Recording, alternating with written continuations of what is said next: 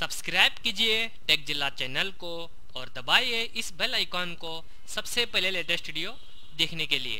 Hi friends welcome to Techzilla channel आज के इस वीडियो में मैं आपको बताने वाला हूँ विंडोज़ 10 पीसी में टास्क बार से एक्शन सेंटर को और नोटिफिकेशन आइकॉन को कैसे रिमूव करते हो आज के वीडियो में देखेंगे। आपने हमारे चैनल को अभी तक सब्सक्राइब नहीं किया तो प्लीज़ सब्सक्राइब करें इसी तरह के इंटरेस्टिंग वीडियोस देखने के लिए। तो चलिए दोस्तों, वीडियो शुरू करते हैं।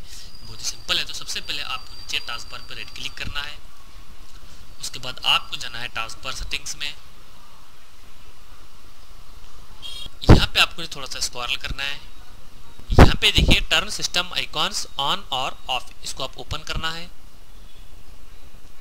यहाँ पे आपको ऑप्शन मिल जाएगा एक्शन सेंटर यानी नोटिफिकेशन आइकॉन उसको अगर आप हाइड करना चाहते हैं रिमूव करना चाहते हैं तो आप इसको डिसेबल कर देना है, यानी ऑफ़ कर देना है। इसको ऑफ़ करने के बाद टास्क बार से एक्शन सेंटर का नोटिफिकेशन आइकॉन हाइड यानी रिमूव हो जाएगा। तो आप इस तरह से विंडोज़ 10 पीसी में टास्क बार से एक्शन सेंटर के नोटिफिकेशन आइकॉन को? रिमूव या हाइड कर सकते हैं। तो उम्मीद करता हूँ छोटा सा वीडियो आपको अच्छा लगा होगा। अगर वीडियो अच्छा लगा तो लाइक करिए शेयर करिए और सब्सक्राइब करना ना भूलें। टैक्सी ला चैनल मिलते हैं